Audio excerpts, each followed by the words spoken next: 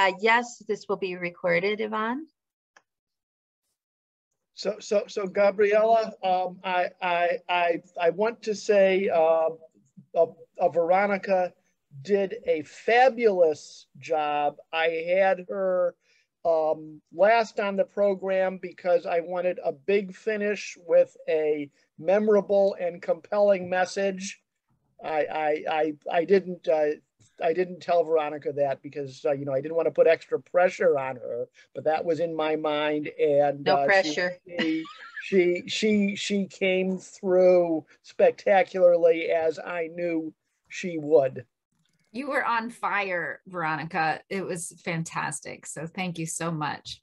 No, no, no. Thank you guys. It's it's not about me. It was uh first of all, the fact that we had the floor was, well, was maybe explain a little bit about what you did yesterday. Yeah, so I'll catch everybody up as people are, are arriving. Just are so they arriving? yeah, the, the meeting has not started. We're waiting on, on a couple of folks, so we're gathering. So I'm Veronica Cool. I'm the chair of Maryland Latinos Unidos. Uh, we were discussing that Maryland Nonprofit Association, which is our, our, our mothership, the organization that, that houses Maryland Latinos Unidos, um, had a press conference yesterday uh, to discuss the fact that the state of Maryland has a surplus of about $4 billion in their budget. Money is falling from the sky. So one of the major asks, one of the demands is, can you release some of those monies to the nonprofit community? Whether black, brown, any color, doesn't even matter. The goal is there, can we get a billion dollars of that money? For the last two years, we've all been stretched ridiculously thin, operating on a shoestring budget, living off volunteers, working seven days a week. And it's not the kind of work that it's like, oh, I have another article to write, I'm tired. It's kids are coming screaming, you know, my grandmother died, my um, my husband's deported, you know, we don't have money to pay for a vaccine. We got scared. We're talking about life and death servicing. And um, I don't do the everyday work for Maryland Latinos Unidos. That's Gabriela and her team. So I'm not that close to it. But all of a sudden, the presenters in advance of me were sharing their everyday life and saying things like, you know, we run daycare servicing and the children come crying every mm. day because of the mental trauma. You know, they lost grandma, they lost a mom, they lost a dad. And then the staff is getting minimum wage if we're lucky, because we can't afford anymore. So, you know, there's a revolving door of staffing if you can fill the positions. So typically you'll have everybody wearing 12 hats, seven days a week, and you're you know, caring for these folks that are traumatized. They don't have the, I'm going to say the sophistication. That's probably the wrong word for, for self-soothing to understand what's happening to get care. So these nonprofit workers are bearing the brunt of it all, the actual work and then the trauma of handling other people being impacted. So the demand yesterday, and hopefully we'll get this message out across the state to other nonprofits, is give up the money. First of all, we shouldn't be asking, this shouldn't be pandemic related. We should be funding organizations that do this work every day. But the pandemic has really shed light on the fact that um, our Black and Brown, our vulnerable communities are even more vulnerable. And we got to stop playing this game. It's so ridiculous that um, we got to beg and plead. And the line I used yesterday was um, 13 times. So in marketing, I have a consulting firm that we engage Hispanics for American mainstream organizations. And in marketing and outreach, the number's 13 you know, I got to send you a text, TV commercial, a webinar, a flyer, door knocking. It takes 13 times for a normal human being to go, oh, look, they got a thing over there. Yeah. And act on it. Um, so we're asking our community, the volunteers, to do stuff for free 13 times. Go knock, door knocking 13 times. Go give me a free TV commercial. Give me a free article. Can't sustain free work. So one time I can help you, maybe twice I can help you but we can't do sustainable work to really fix the damage done by COVID, by generational poverty with volunteer help. So that's a short of it. I know we're, you probably want to get started, but yeah, I was riled up yesterday and Neil made the mistake of putting me up there to yell and scream about it. Well, bravo and thank you. Um, that's leadership. And the that's teamwork and um, and I think the whole thing is so critically important. You know, and I just wrote this in the in, in the chat, but you know, nonprofit work is the connective tissue between services and community. We are your support system in the government system, uh, but we also deal with those real everyday situations. And um, so I I will be the first one out there rallying that cry. Um, and thank you, Veronica, for for being our voice. That's what we need. Um, and we need all of you to be our voices because um, what you're going to hear today uh, as we get into this wonderful session on education uh, with a highlight of Montgomery County um, um is the situation uh, in Montgomery County related to education, which, um, uh, how shall I put it? Um, it, uh, well, you'll hear. I don't have to give it uh, a subjective uh, qualifier. Um, so, muy buenos días a todos. Uh, this is our last meeting of the year, I think. December um, it's been a whole year for me. Yesterday was my uh, first year anniversary. So thank you, Heather, and just, uh, you know, uh, for believing in me. Um, I think uh, Veronica and you uh, have, it's just amazing to be your colleagues, but I also appreciate very much the faith you had in me to be able to help y'all get your vision up and running, right? Um, so, um, I mean, I think it's just hard to believe this is uh, our final member of the meeting of the year and that we're already planning for next. Uh, but I think we're very happy to end it on a, on a super powerful note. And I think it's one that interests all of us because it's education, which is that, that first step, right? As our kids come into literally society. And so we need to understand, I feel, as a, as a collective, how are our Latino youth faring in Maryland schools? And I picked Montgomery County because um, it's the largest population group. And I think it's also the one, and Prince George's probably in Baltimore City, that have had the longest standing, um, you know, it's been more than two decades now of this phenomenon. So today we are going to have a very special person. Uh, she is joining us, Jessica Palladino. She is the principal of Rolling Terrace Elementary School. Uh, but before I bring her to speak to us, I want to give you a quick overview, as I'm wont to do, of what is happening. And um, I apologize because it's kind of a bleak picture. So Veronica, don't get too angry because I think there's already solutions starting the only thing is we need more of them. Uh, in Montgomery County, 21% of the overall population, you've heard me say this before, is Latino. Over 30% of the student body is Latino. I think it's somewhere between 32 and 35%. Um, about one third of the county's population is 19 years old or younger. And in fact, they are the fastest growing demographic in the county's public schools. Um, Montgomery County's Latinos are a little bit different from the national population. National population is uh, more Mexican uh, and in certain areas more Puerto Rican or Caribbean. Montgomery County's Latinos are predominantly from Central America, El Salvador, as you know, and have come to the United States to escape civil war from the 80s and um, early 90s, and then into, you know, more of what present day situation related to human rights abuses. Um, the rapid growth of um, the county's Latino youth continues to outpace the infrastructure available to serve them, however.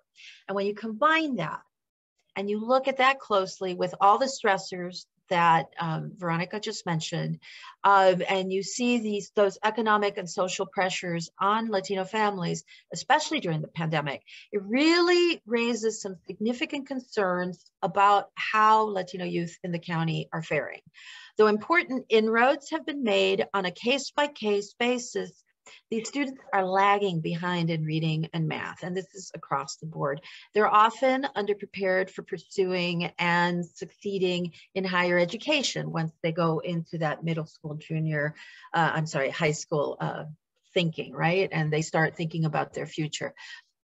The ones that are most at risk uh, tend to be first generation low income students many of them haven't had, you know, throughout their experience, and it depends if it's they are, they were more recently arrived or if they've been here or they're citizens uh, and their families are first generation. Um, many have received very little support within the school system over a period of time to navigate a college system that was not designed for them on top of it. Uh, so um, what we're going to look at a little bit are the barriers um, within the educational pipeline, but also, you know, there's a lot of initiatives, a lot of bright ideas and things that have worked that I think the more we talk about them and share them and replicate them, uh, the more likely we are to have better success in the future. Um, what I'm about to share now is related to a study that I think is really critical to highlight, which is a study that Identity, which is a nonprofit uh, for education in uh, for Latinos in uh, Montgomery County, um, in 2018 did this survey.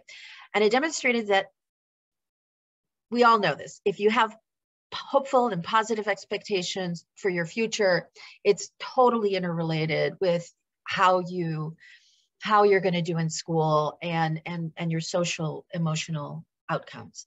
However, this study highlighted that Latino pupils were less likely to report having those expectations uh, when you compare it to the other kids, right? And that hope tends to decrease over time. So, you know, the little ones, they're excited, etc. They're ready to go. They get to middle school, things start lagging. By the time they are in the last two years of high school, they're well, I'll share those numbers with you. It's it's pretty startling. And all of this, of course, gets you know, impacted even more by our environment and, and this last two years in the pandemic. I, I have a lot of concerns for this last group, but we're going to talk about elementary school today because that's where we start. So what we see uh, right now with Latino youth in Montgomery County is that they've been, you know, they were exceptionally vulnerable before COVID and facing significant barriers to their success, studies wise, work wise, life wise. They, many of them started school unprepared for kindergarten, even the little ones. And uh, maybe, you know, once they're in like fourth, fifth grade, they're reading below grade level throughout elementary school.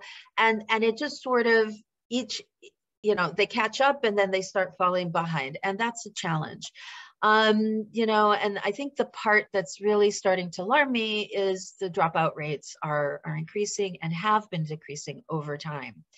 Uh, which means that you know in, a, in an economy like ours that demands such high levels of destreza right? Of, of capacity of ability uh, uh you know you're going to need some secondary education or higher level technological education to keep up.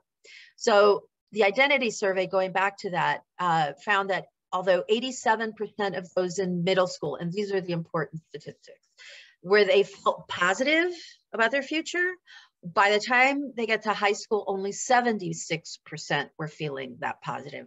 And by the time they're in their junior, senior year, it dropped in those two years, in those four years to 67% from 76. So this is a challenge. And these are areas where intervention is needed, I think. And as a community, it's an opportunity for us to figure out, again, collectively, some of the things we might do together to, to begin to, to make those changes that need to, to take place. Um, one thing also I want to raise are the NAEP scores. Um, please, Jessica, don't have a heart attack. I won't go through them. uh, NAEP stands for National Assessment of Educational Progress. And these are old scores that I have. I couldn't find anything after 20, uh, 2018, so I apologize. They may have changed positively between then and now. Um, but 22% of Maryland's Latino fourth graders are proficient in reading. 50 comparison to 55% of white students and 27% of black students. Now, that's nothing to brag about, uh, but it shows how we're already on a lower level when we start. In Montgomery County, Latinos also have the lowest on-time graduation rates at 79%. So it begins here and slowly goes down the number, you know, the ability of the success and then, but the number of students go up. So um, the last part I want to talk about are um, is college, because by the time it's time for them to start thinking about going to college. It turns out that in Montgomery County, only about 10% actually earn an associate's degree within three years of graduating high school. It is not to say as they get older that they don't go for it, um, but it takes us a much longer time. Um, so these are a lot of things to think about as we move forward. Um, but like I said, um, we're going to focus today on the little ones. Um, one other thing I want to highlight are the social determinants that the one, same ones we use for health outcomes. These have an impact on Latino students' education. Uh, they utilize something called adverse childhood experiences, ACEs, which are events or circumstances that are known to increase the risk of disease and substance abuse, but also correlate with low academic achievement. And um, in Montgomery County, uh, our, our kids have experienced ACEs more frequently than their national counterparts. And some of that has to do with the, the violence that their families grew up in prior to coming to the United States. And maybe they may have even experienced as um, young folks.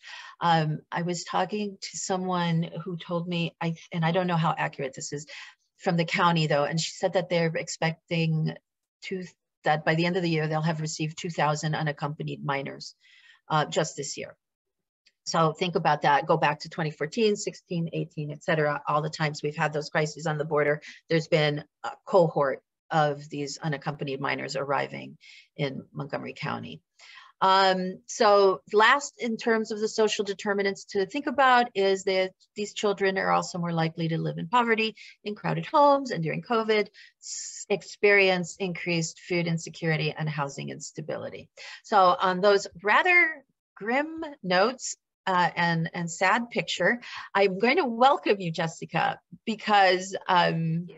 you are our hope um, you know, I feel like what you're accomplishing isn't grim at all. If anything, it gives us a perspective of what we are hopeful for. Um, so uh, welcome, Jessica. I'd like to open it by discussing um, with you, tell me about your school, tell me about Rolling Terrace and yeah. um, what you're doing. So our school is, um, as Gabriela said, located in Montgomery County. It is in Takoma Park, Maryland. Um, we are very close to the Prince George's County, DC, and Montgomery County line. So um, we are very different than Takoma Park with its large Victorian homes. Um, we have a lot of small garden apartments here. Uh, we have about 750 students who attend our school. 75% of us are Latino, and over 82% of us qualify for free and reduced meals.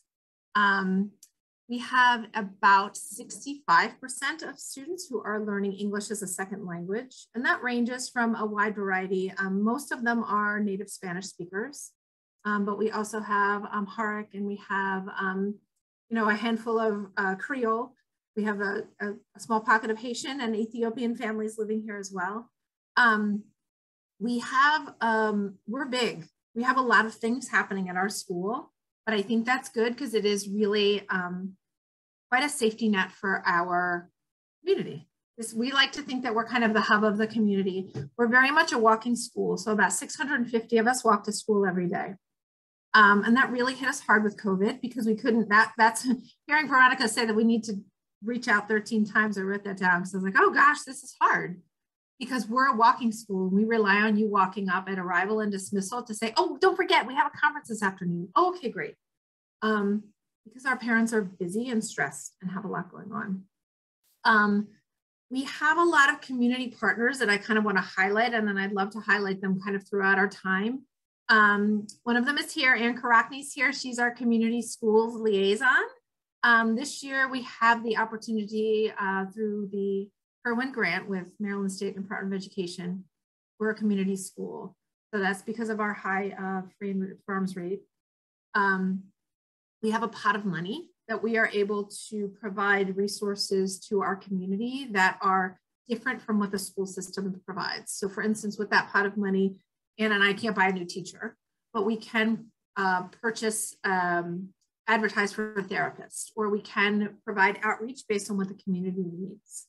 So um, we're in the process of kind of launching that. As with everything, there's a lot of bureaucracy involved with all of these things. Um, but we are in the process of really doing a lot of outreach and a lot of collaboration. Anne's been really great um, networking with this, within the state of Maryland, but also within Montgomery County because um, the need is so great uh, that it's really important for us to network and, and, and share resources and share ideas with one another um, to really make sure that we meet our needs because all of us are very different. I mean, we're a Title I school um, because of our farms rate. So that comes with a lot of additional support and resources, um, which we need. There's, there's a reason we have that. We need it. Um, so in addition to being a community school, we also have a Linkages to Learning program, which is a partnership with the YMCA. And through that, they um, provide a lot of wraparound services for our family. So they have, they also have a therapist that they've been, um, they have a full-time therapist. Position isn't filled, but we're supposed to have a full-time therapist. That, but I'm, but I'm focusing on the positive now, not the, not the need. Um, and they also provide a lot of, um, they have a, a, coordinator who really helps. We meet with her biweekly, um, Anne and I and a bunch of us. Um, to really discuss families and cases. We have a case manager. She helps families navigate the system. So she helps navigate the immigration system and navigate the legal system. I mean, we really try to be a one stop shop for our families because this is a lot, you know, like the government, Montgomery County, Maryland, it's just a lot to navigate to know where to go to get what you need. Um, and we want to try to really empower families to be advocates for themselves and to advocate and get what they need. we also have um, a we also have a school-based health center, which is really critical to our outreach to our families. Uh, we have a full-time registered nurse here on campus, and we have a pediatrician who comes in once a week. A lot of our families, we serve as their primary care physician for their children. So the children come for physicals during the day at our school. Um, and that has been really really important because transportation is a concern. Um, even though we're literally, the purple line is going outside of our door, um, it's still a concern. So um, kind of looking to, to eliminate any barrier at all is really what we, what we aim to do here at Rolling Terrace. Um, and the other partnership, sorry, we have so many, I have my whole spiel. Um, we have the Judy Center and the Judy Center is also through a grant um, with Steny Hoyer's late wife, Judy. It is a, an early an early outreach uh, program through um, through the state of Maryland where it services families birth through age five. So this is really a, an important initiative for us because it helps us not only does it give us as a school resources, but it also provides like an entree to school for families. So we try to reach families as soon as possible. Um, we, we want the siblings, we want bring your strollers, let's go. Um, we really, more is better for us. Um, but it really builds a trust and a relationship with us and the school because again, navigating this system is a shift for some of us um, from what we've experienced as our as a parent uh, i mean as a student so making sure that families feel seen and heard and welcome is a really important part of our of our work here um, so that's kind of the background of Rolling Terrace in general. But one distinguishing factor, um, which is kind of why I was excited to talk about, um, to, share with you guys, is we do have a two-way immersion or a dual language program. One exciting thing about MCPS is we always have to name things our own thing. So uh, we've named it the two-way immersion program as opposed to uh, the dual language program. But the idea is the same in that we have um, all of our students in kindergarten through fifth through fourth grade, excuse me, next year it'll be through fifth grade, so it'll be a whole school. Um, half of their day is in English and half of their day is in Spanish. And um, there are three goals associated with the two-way immersion program. Um, it is bilingualism and biliteracy, grade level standards, and sociocultural competence. And we have really embraced that third pillar. There's three pillars. So that's that third pillar of sociocultural competence is something we have tried really hard as a school community to embrace and make our identity. We are a language learning school. All of us are learning a language, whether we're learning English or Spanish. So having that shift for our community and having that shift for our families has been fantastic because um, it's really helped our kids. We like to we like to say that we're like raising a bunch of sassy kids because they have so much pride in who they are and where they come from. It's amazing. They do not care if you hablo Espanol or not. They're going to speak it to you, and it's great. And they also will come up and say like, "So do you know what's Ethiopian Christmas?" Like they're they feel a lot of pride in who they are, and we work very hard and intentionally to to raise that and value that. Um, we have a, I don't know, Gabrielle, I can just keep going forever. you can cut me off. oh, you're muted. I can't hear you.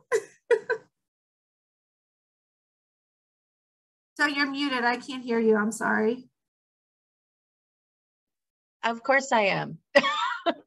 um, so I was, uh, you, gosh, you're, you're just doing so much. Um, and one of the things you mentioned at the beginning was um, the therapist, and uh, it sounds like mental health is a big part of of this process. Could you talk a little bit about that?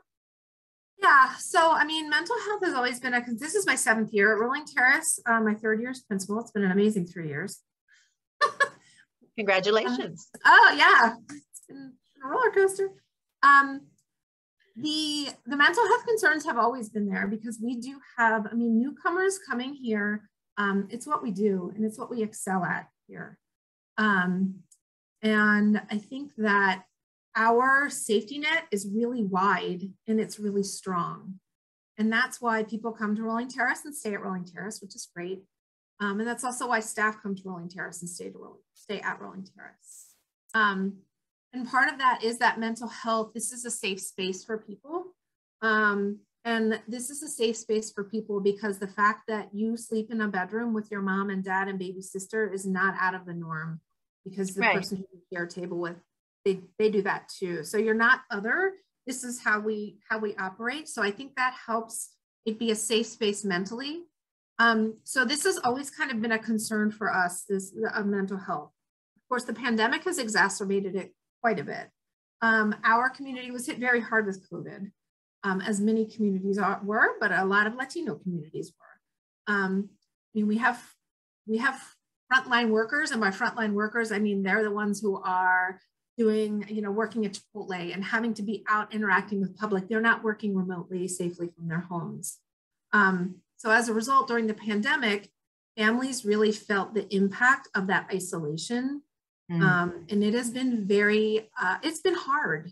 And we are planning um, a lot of proactive outreach because we have more kids who are being more extreme um, in their behaviors, but we know we have even more kids that are quietly suffering on the inside and not acting out. So we're trying to be proactive and and um, holistic in our approaches. We are so fortunate to have such a huge team of bilingual people to really help um, help support families and support um, our students. It's not enough, but we're in the, I feel like the, the train is moving in the right track. The right direction. But, yeah, but we're, we're like a big cruise ship and it takes a lot to move us. Mm. but, but we're moving in the right direction as far as we have the, the spaces up for people. We just need to get the right people in there to help because we're never going to have like too many therapists. Mm-hmm. Uh, just um, how big is your school? I forgot to ask you. So we have 750 students here. Oh, uh, we're pre-K through fifth grade.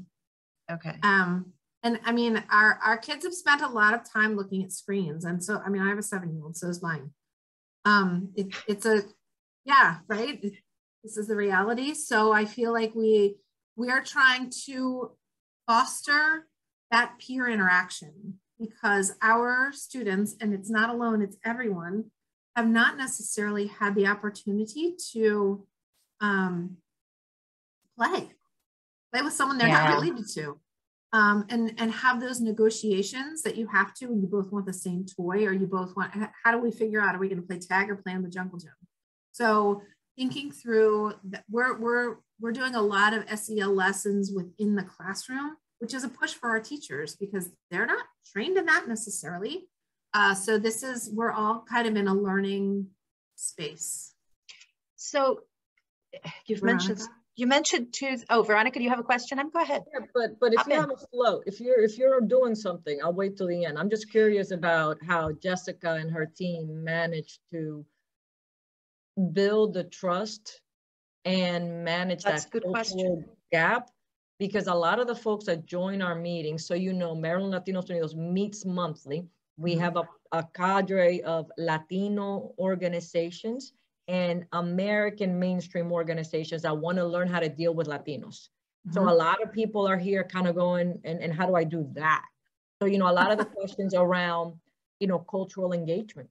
Like how do Mm-hmm. you overcome all the trauma and all the all the hesitancy around, are you gonna deport me? Are you really legitimately trying to help me? And um, how do you get number two, parent engagement? I know in a Mm-hmm. lot of our home uh, cultures, the teacher and doctors are godlike and they're never questioned. So we're not used to parent teacher conference or engagement at all. Whatever the teacher says goes. You don't need me because you've never needed me. Plus the parents are working. So how do you ensure that this is an environment where the parents, the community are there raising, educating the kid along with you? So tho- those two questions, please. Yeah, so so I feel like um No community pressure. engagement and out I know. I know well I, it's one of the things I wrote down. I think it's one of our strengths and one of our biggest needs. It's like where we're still growing. Um and I honestly feel like the best way that we have engaged with families is to have the right people in place on staff. We hire really carefully because you need to have a, a an asset-based mindset when you're i don't need you to come and pity people that they didn't work so hard to get here and risk so much because they need your pity they need us to uh, we need to to be here as a resource so we're really engaging in a in a level of authenticity where we want them and i go i i i am very visible and I really engage with people on purpose. So I will ask my um, linkages to learning coordinator is um, she works with the YMCA and she has a Madres group. They self-proclaim the Madres, and that's who I go to for my, you know, I I go to them directly because they're very connected within the community. So when we have an issue or when I have a thing happening, I want to make sure that I engage them purposefully so that I am so that they're in the know. So the more I'm empowering them, the better. Um, the because because of who their stature is, because of their stature in the community, people will go to them to Yeah. say like, "Have you heard about this?" And they'll say, "Oh yeah, yeah. Oh, Dr. Palladino, she's got this under control." Or, "Yeah, you should talk to Dr. Palladino. She's right there." We have a parent community coordinator this year, a full time. I use some of my Title I funds to hire a parent community coordinator. She's standing up front every morning and every afternoon. And Ann Karakni is outside every afternoon because we want to hear from you. And we want, so we want parents to feel comfortable and we, we will be, we directly invite them to come in. And I do, I kind of guilt them, but I don't, but we also manage our times to see when, when, when do meetings work for you? So tomorrow morning I have a principal's coffee and we stand out front and we say, oh, good morning, hi, why don't you come in and get some coffee? Like we stand out there and force them and, oh, but I have my kid, ah, you have your baby? That's fine, come on in. I mean, that everyone's always welcome. We're a very judgment-free zone and a very welcoming place. And I think that's, um, I think that people feel it. And I think, again, it's just because we have the right people in place. You know, I, I continually tell staff, like, you're choosing to be here. Thank goodness you are, but you're choosing to be here and work with this community on purpose because we love them and care about them. And because we love and care about them, we have high expectations for them. and we're going to work to get them where they need to be. So that's so our job is that, but we also take like it can get to a it can be a fine line between we don't want to condescend and tell you how to parent because my our parents at our school love their children more than ever. So let's be clear about that. So I I try really hard to kind of state the agreements out there so people know what they're getting into. No, there's a then they line can you're fly in. absolutely, there's a line you're toeing the right way. We cannot parent for them. But also America, USA is very different than our home countries and our kids have more access to dangerous behavior and things that our, our, our adults don't know about. So, you Yeah. know, as an educator, as a community, you know, we, we need to say, oye, ¿tú sabías que eso es peligroso? Ay, no, yo no. So there is a line you're toeing. That that's wonderful. I love that the the the the, the hidden uh, scam. Yeah, yeah, yeah. We have some coffee. Come on in. We have some Yeah, let me tell you how you can help your kid in math. I'm like, wait, what?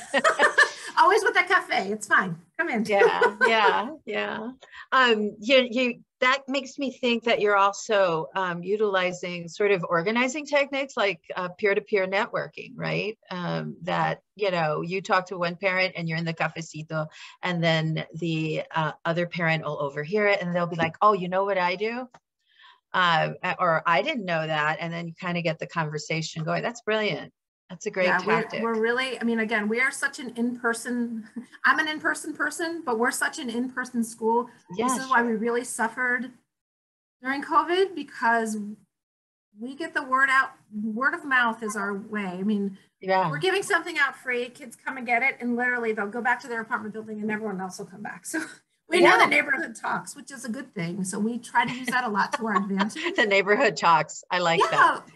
Well, and I mean, there's a true barrier with MCPS, and I'm sure other school systems have this. I mean, the COVID vaccines, I think Kelly's on this call, is a perfect example of yeah it's okay. We'll send out a link to families and they can go read their email and sign up for a vaccine for their child. My community doesn't, we don't, we have email, but we don't use it. So that Right. not going to work. So we have to set out tables out front and reach you when you, and, and trap you, lovingly trap you to get your kid to get vaccinated. So, you know, kind of knowing, meeting people where they are, I think is a really big um, shift in how we operate. And, and you know, I had an, another principal call me about a family and, oh, I'm so worried about this. And I was like, "Psh, we got this. This, that's what we specialize in. Families who have gone through a lot and need a safe place where they know their children will be safe. That's where we, we can help you and we can help mom get this and we can help dad get like, we have a lot. Um, it's a lot to manage, but we do have a lot. Right. The other thing I heard, and, and I see this question and it relates to that. Uh, one of uh, one of our friends uh, Jess, uh, says, Jessica, are you working closely with your health department uh, regarding mental health resources for families? I would imagine for other services as well, right? We are. I mean, we're very lucky to have um, our school-based health center because Megan, our Megan Christopher, is our nurse, and she is able to really coordinate those health services. We get, you know, um, vision screening, hearing screening, all those things, dental clinics here in Oh, our wow. building. We have dental vans come to our building.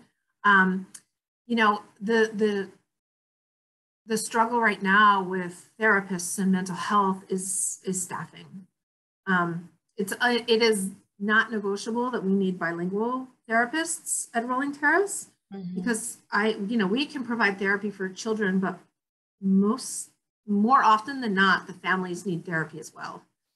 Um, you know, mom's mom's a single mom working three jobs and work, you know, leaves them leaves at six and comes home at this time and had trauma coming here. So she needs help too. She needs a safety net too. Yeah, so we there's layers of it. so many layers and it's a safe space to come and tell us that but then we also want to put you in touch so we we do have again we're so lucky to have such a, a deep team you know um, there have been several positives that have come out of covid believe it or not um, I, I talk about it like it's over right um, We all do. I know. but I, I think one positive um, is that we have um, MCPS has widened their view of schools and school improvement. So one of the things that we have to have is our school improvement plan, it used to only be um, academics, math and literacy. Now it's also student well-being and equity, which, you know, all of these things are really important to um, to our families at Rolling Terrace. Um, so that student well-being team is, we roll pretty deep, right? We have a, a lot of people um, at, we have outside partners that do come in and help us so that we can talk about kids specifically on a weekly basis and families and think about and coordinate our resources. So Mm. we are in touch with folks. And so during those conversations, sorry, I knew I was going somewhere. During those conversations, we are in touch with our school psychologist joins. And so she can help us um, and our counselors kind of navigate through outside resources to, um, you know, this family needs this. Okay, well, let's make a referral for this program. And, you know, so we have children's with a, children with intensive needs that we may be referring folks to. So we're trying, but there is a there's a trust that is really hard, which is why we are so um, in need of. So if you know a therapist, a bilingual therapist who's looking for a job, send them our way. Veronica. Um, Network. network 13 times, the 14th will be a charm. Yeah. Um, but because there is a level of trust here, having it happen here at Rolling Terrace, because Sure. sometimes I worry our families trust us too much. Um, I want them to push and ask questions and and advocate, and then sometimes I'm like, hey, hey, not with me though. No, I'm just kidding. so so I I want to truly empower them to think through. Uh, I mean, to to ask for what they need, and and because we have a lot, we just need to point them and help them point them in the right direction. Um, we have one of our guests, Frank Patinella, is uh, asking us to unmute him. And hang on, I'm trying. Um, oops, lower hand.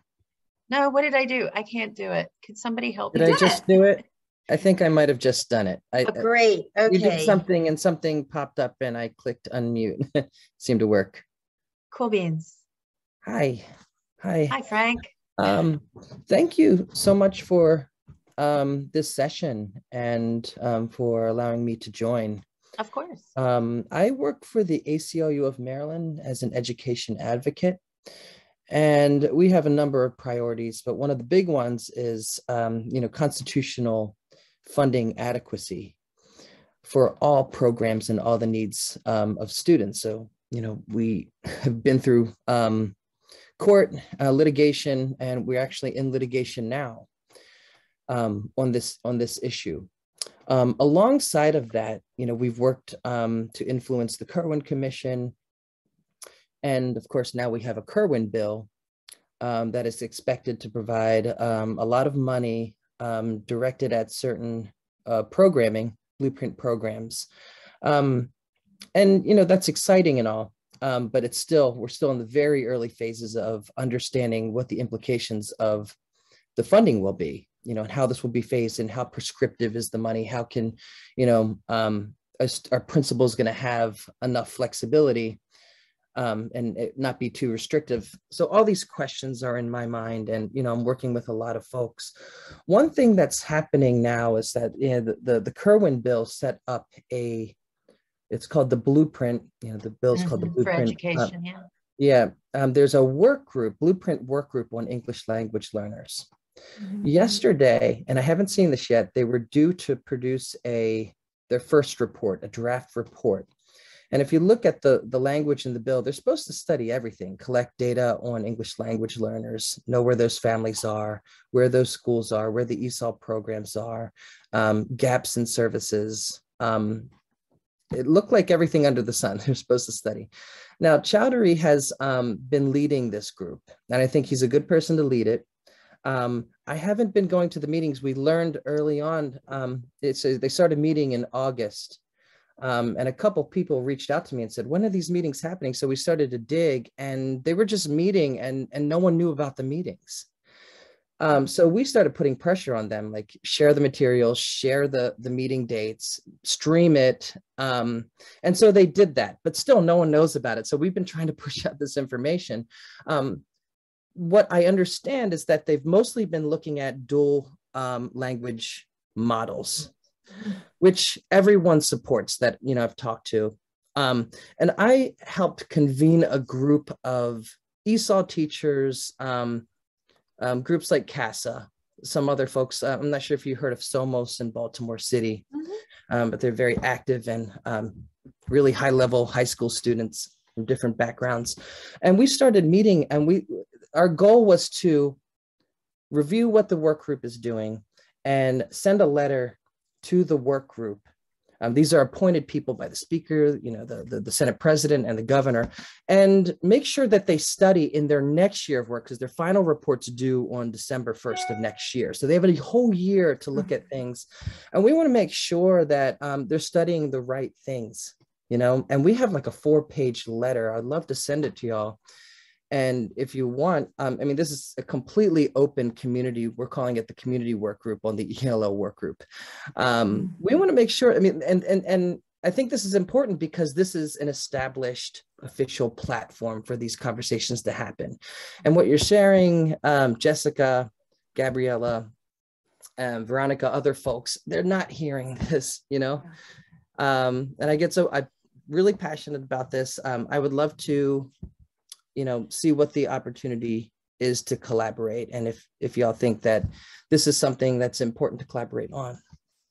So Um, I'll leave it there. Frank, I think, Yes. well, Veronica and I have both, um, sorry, Jessica, I'm jumping in, um, have both reached out, uh, related to the, um, AIB, the Accountability Implementation Board, about the Mm. lack of representation. There are no Oh, yeah. Latinos on this board. Oh, And right. we're, we were, uh, you know, you can see I'm getting agitated. I, we were slightly outraged that with the uh, fastest growing student body is completely, there's no representation. Uh, we were told there was about the ELL group um, and that they would get back to us. Of course, there's been uh, no follow up, but Yep. I'm clearly we're interested. Yes. And we that? sent, I work with another group called the Maryland Alliance for Race Equity and Education, and we sent an open letter, public letter to the nominating committee for the AIB. And that's one of, that was one of the big concerns that we put in the letter. No Latino Thank you for no, including that. There was no special education representation. There's no one with expertise really in race equity in terms of, you know, being an expert in teaching um, from certain pedagogical approaches in black and brown communities of low income, those neighborhoods that have been redlined, like in Baltimore Mhm. City, all of these things. And um, I was, and this is my last comment, I'm sorry, um, really taken um, by just how much um, Jessica's put into the social cultural learning and those maybe more non-tangible things that's so important that there's no metrics for this you know we we measure Right. here based on you know NAEP and you know MCAP and and these standardized test graduation attendance rates but uh, and and I think it was um, Gabriela. You were talking about this identity survey. I really would love to see that survey and and I'll share it with uh, everybody. Here, let me go. I'll get the link. It's old. It's from 2018. And it's, Yeah. um, I'm impressed with what they were able to accomplish. But what did it take? It took partnership with a Mhm. university. They had already been able over time to, to build out a, um, you know, a baseline data about the Mhm. students. There is so much on the data front. Uh, don't get me going, guys. Um, you'll you'll hate me. Um, that is missing, right? And Mhm. um, and we're committed to um, you know getting that out there, right? Make sure Yeah. that we can get access to this, what should be public information. They should be doing this. I'm gonna um, share the um, identity piece for everybody to look at right now on the link. Uh, in, in their link in the chat. I'm sorry. Okay, there you go.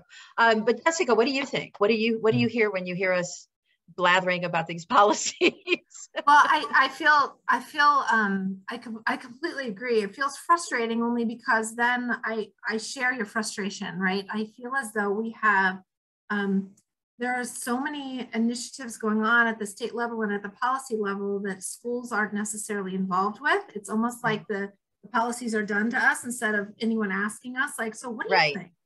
Um i mean we I, I have a lot i have a lot of thoughts um but I also feel like, I mean, I was I was trying to be hopeful in what I wanted to share today.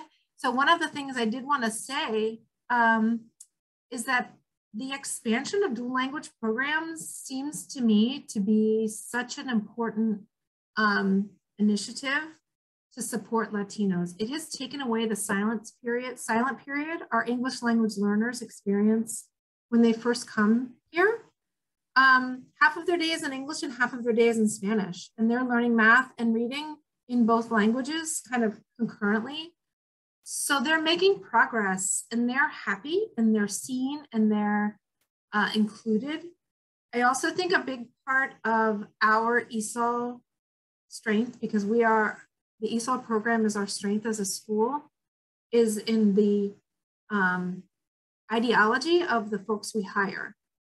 I, I can know that people aren't a good fit because they they have a substitute. Well, so once we get rid of their Spanish and put English in, and that is not at all, that's like getting rid of who you are. Like, forget about your family, come be here. Uh, and that's really an important driver for what we do. So I guess um, kind of I, I would love to be involved. And I saw Anne say she'd love to be involved, but I also feel like there's a, if we're advocating for things, it's these asset-based approaches to learning language and learning period. Um, build on what who you are and what you have and and learn like simultaneously. And those just, there's only five of us in Montgomery County that we, that are two-way immersion and we're all very different.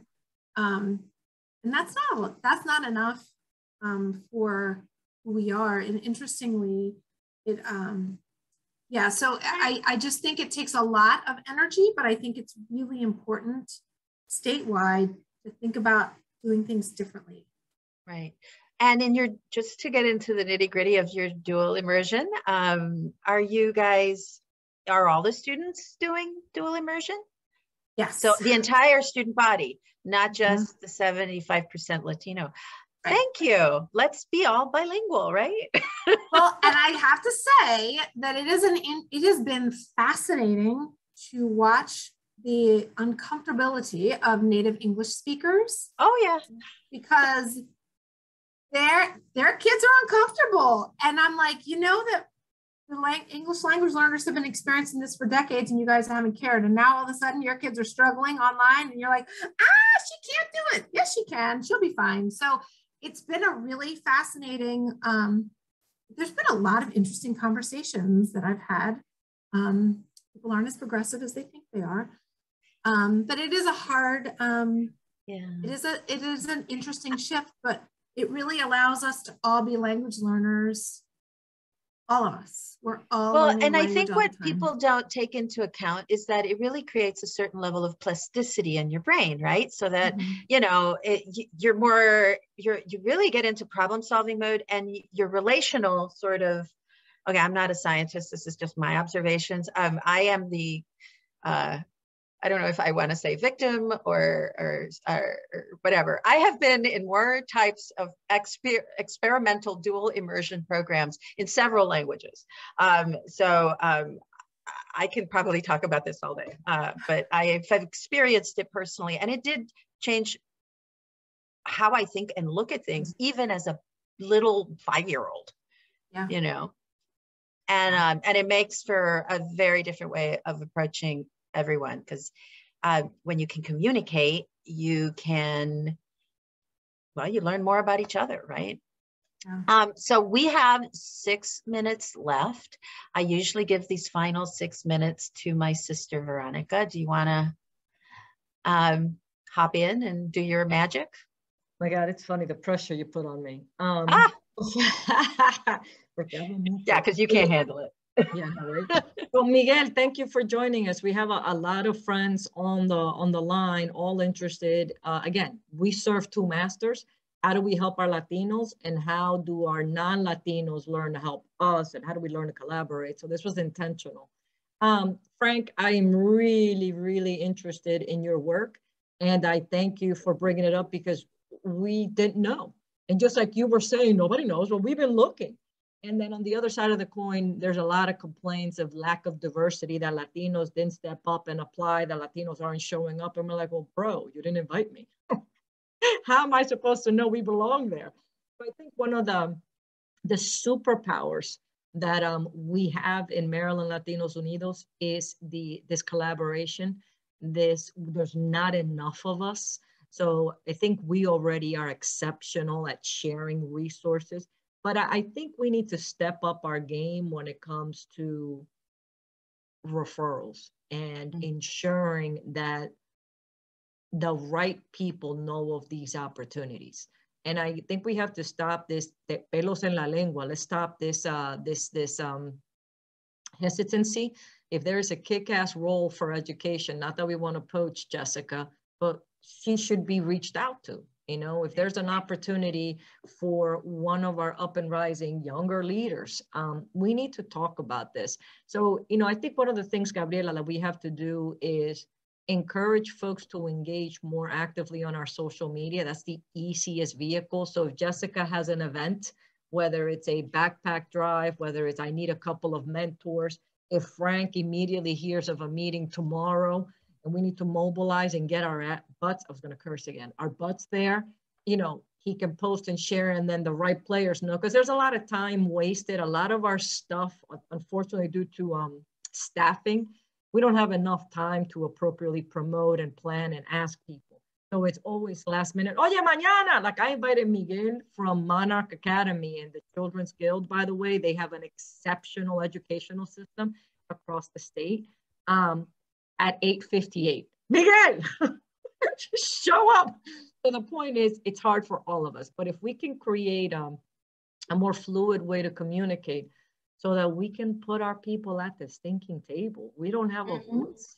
We don't know what any of this stuff means. We're not there to be annoying and say, Oye, where's the Spanish? Oye, there's no translation. So my company does wonderful work, but the way we get the work is often last minute. You know, State Board of Elections, we got a call with 20 days to the election. Can you can you translate? I'm like, for next year, sure. No, no, no. For now. I'm like, oh. So the point is, I think this is an opportunity for us to get friendlier and strategic. So um, making sure that we know what Frank is doing, um, you know, you're doing the toughest work, you're fighting the ugliest fights. Jessica, you're at the at the grassroots level hearing of all the drama. And then you have tactics that are working. So, you know, potentially, Gabriela, for maybe 2022, we could start featuring folks like this, you know, un cafecito con Jessica, so that people well hear. actually and that's what we want to start is our cafecito virtual right. in spanish we're so, going to be bilingual so we're going to be bilingual so that our parents can hear what it's like to be a teacher or principal and what that drama is and then frank you know can there be a session about and here's what advocacy entails here's what your rights mean it doesn't matter if you're documented or not these are your rights si esto te pasó si te pasó lo otro si esto te pasa that's not allowed. So I, I think there's a lot of power in our work. And um, I think we need to get smarter and more demanding. We can't just talk about crap. We got to just hold people to the fire and be like, you didn't invite us. What's up? And you can't complain later about lack of diversity and equity. We weren't in the room. So uh, I think there's a lot of power here. I know, um, thank you, Frank, for sharing your information. I'm going to stalk you. Just she will. yeah, no, but it is always uh, a shot in the arm to be with you guys and get this information. I know we did a lot of rescheduling, so we don't have the audience we had. The holidays played a number on us. Pero this is recorded, so we'll share it. But we are at your service, de verdad. And you know, Gabriela uh, manages a pretty tight ship, and we're doing some beautiful work. I'm really proud of this. So thank you guys for being here and doing what you do every day. Bien lindo. Well, thank you, Veronica. Thank you, Jessica. Um, we are almost at the end. Any final words, Jessica, that you'd like to share with us? No, I think I'm feeling, hopefully you're feeling hopeful. I'm feeling hopeful. I am feeling um, hopeful. That's why I invited you. Okay, good. Because you're it. I, when I talked to you, you were just so happy and amazing and positive thinking, and that's what we need. Yeah, and uh, so I'll say, so we reopened a little bit in the spring, and then we reopened obviously in the fall, and forget social distancing, the hugs, the love. I mean, it was there. The kid, I mean, you can't like stop a kid. You're like, sure, bring it in. Let's do it. Abrazo Come on. So it, it was, so they're, they're, this is their happy place. And I'm not saying with their families in their happy place, but I, I'm excited about the energy that and ideas that you guys have and the support because um, our kids are they're okay. They, they need help, but they're okay. But I but they'll they can be better, and it can always be better. It can um, always be better. So I, I think that I kind of want to leave you with that because they deserve it. Oh, thank you, Jessica. That I have goosebumps. That was a very happy ending, um, even because I started it off like ah tragedy. Um, thank you all for joining us. Um, Frank, you are about to get stalked, and um, we are going to all work together and um, figure out um, how we're going to do this. every single school system in in the state, I should say, in the county level needs needs some support. And it's through organizations like yours and your leadership that we make this all happen. Thank you for being with us and have a great and wow, it's early December, so have a great y month. feliz Navidad, feliz, Feliz happy Navidad, happy feliz Kwanzaa, todas las Navidad. cosas lindas. Pero may you guys be blessed. Uh, you guys are a blessing. May you all be healthy and well for Así es. Gracias a todos.